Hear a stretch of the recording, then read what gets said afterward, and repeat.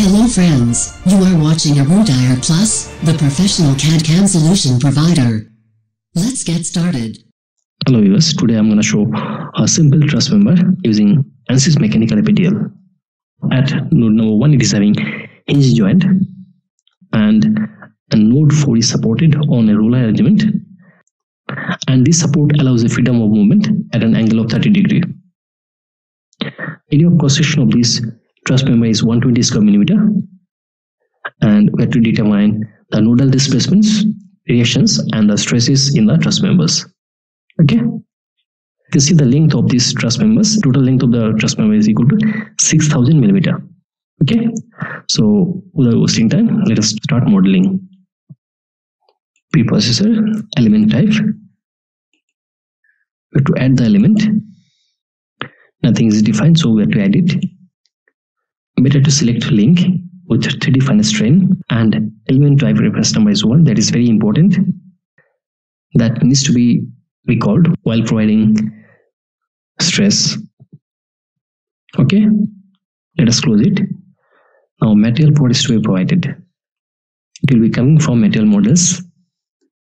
Structural linear elastic and isotropics. That means material property will remain same in all directions modulus of elasticity of this material is 2 into 10 to the 5 newton per millimeter square so it can be denoted as 2e5 and Poisson's ratio will be 0.3 okay. Next to that we have to provide cross-sectional area of this link. Select link and we have to add the area. Link section id is 1 and let us provide the cross-section area name as square cross-section. And the cross-section is equal to 120 millimeter square. Okay. Next one we have to start modeling. Better to create the model with nodes itself. So we have to start modeling with nodes. We want to create nodes in active coordinate system let us see the model and we can model it accordingly so we have to create we have to create different numbers of elements and in between different elements total seven numbers of nodes will be there right? Let us create those nodes accordingly. First node will be created at origin okay? So apply that is first node is created at origin. Next one will be at 2000 millimeter away. Apply second node is created. Third node will be 4000 millimeter away applied. Fourth node will be 6000 millimeter away applied. Next one we have to create nodes in the upward direction. It will be at 1000 x coordinate and 1000 it will be y coordinate applied let us see the drawing again. This part is done. Again this one will be next node will be at 3000 and 1000 apply. And the last node will be 5000 1000 okay. All the nodes have been created. Now all these nodes can be joined in the form of elements elements. Auto numbered through nodes. Can join all these nodes? Number one number two apply. Two three applied. Three four applied. One five applied. Five two applied. Two six applied 5 6 applied. 6 3 applied. 3 7 applied. 6 7 applied. And finally 7 fourth. Okay. All the nodes have been joined together and we got the elements right? Let us count the elements. 1 2, 3, 4, 5, 6, 7, 8, 9, 10, 11 numbers of elements are there. In between 7 numbers of nodes. Okay. Next to that, we have to apply boundary conditions and also at node number 4, we have to provide inclined support of rollers. Okay. So that can be done from here itself.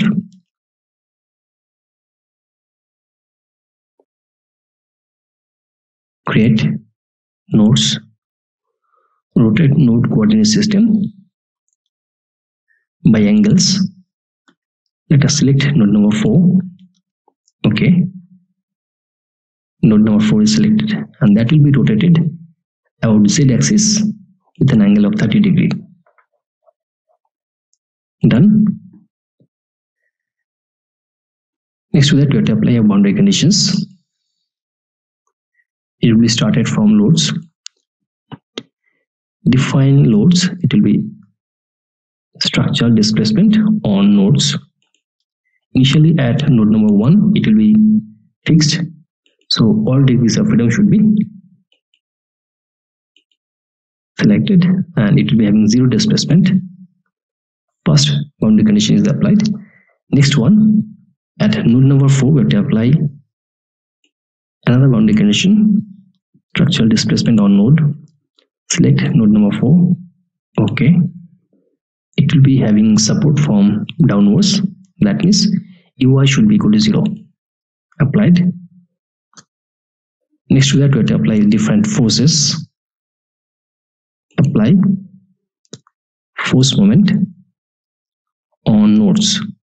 Let us see the values of these things. Second node will be having force of 3000 Newton in the downward direction and third one will be 4000 and seventh one will be 6000 so all forces will be in the negative directions okay? Let us apply forces on 2 it will be 3000 newton on node number 2 it will be fy as it will be acting in the downward direction minus 3000 newton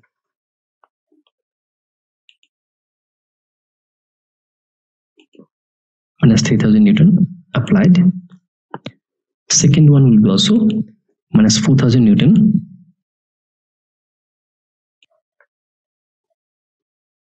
Applied. And the last one will be 6000 Newton in the negative direction of x-axis. Okay. It will be fx and it will be minus 6000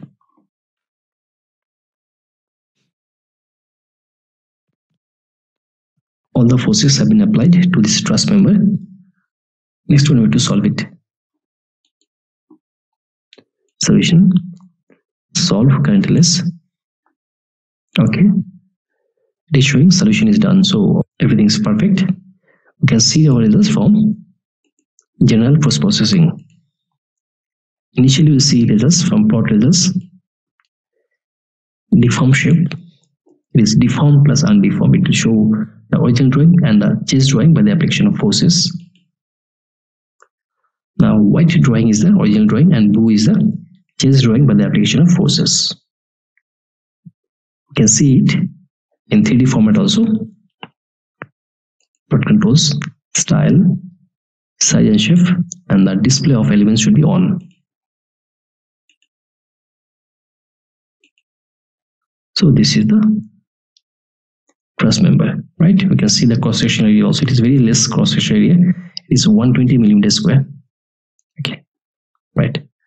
So we'll see it again from front view. Then display of elements will make it off.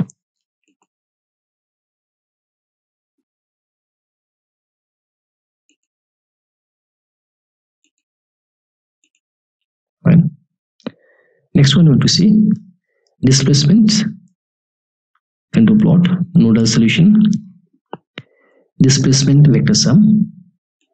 We can see displacement at defined nodes. Maximum displacement is occurring at node number 3 where maximum displacement is 2.77204 millimeter and minimum displacement occurs at node number 1 and node number 4 it is indicated by blue color. Okay so this is actually maximum displacement.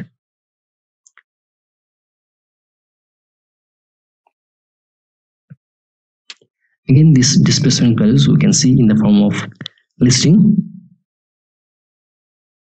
So list results nodal solution DOF solution and displacement vector sum. We can see all these results in the form of data on numbers it is clearly visible that maximum displacement occurs at node number 3 is 2.7720 at node number 3 maximum displacement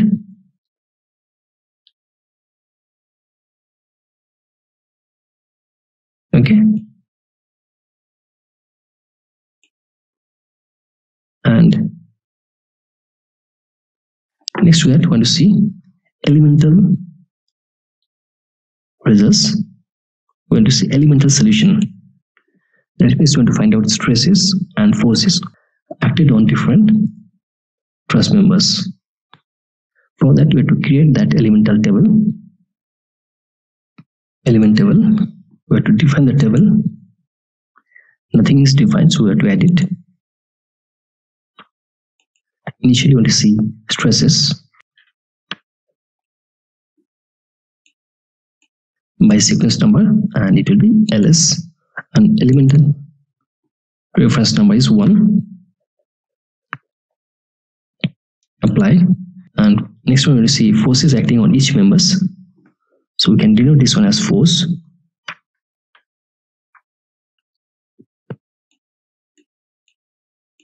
By sequence number. It will be SMISC 1 okay.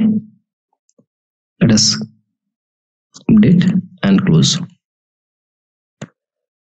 Now we can see our results that means stresses and forces acting on each members. Initially we'll plot the results. Plot elemental table. This one is forces. Initially we'll see stresses acting on each of the different members. Let us see stress values on each members it's clearly visible that maximum stress is suffered by the element number 3 this is third element right? The maximum stress is indicated by red color and it is 51.0688 newton per millimeter square. And minimum stress is suffered by this member which is in the range of minus 99.44 newton per millimeter square this is actually compressive stress. And this one is actually tensile stress. Okay next to that we're to see forces acting on each of the members.